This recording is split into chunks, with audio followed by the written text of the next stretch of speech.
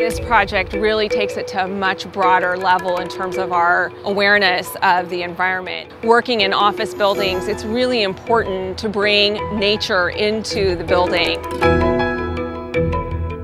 The benefits of mass timber are countless. This concept of biophilia, the feeling of being surrounded by a wood environment.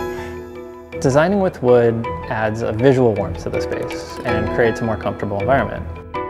It makes me feel connected to nature and when I'm in a mass timber building, it feels healthy and warm and just special. Wood is the only 100% renewable resource that we build with. Steel is mostly recycled, but there's still a finite amount of it in the world. This building, it gets the imagination going. It gets people sort of thinking about things that they didn't think about before they stepped in and saw this building.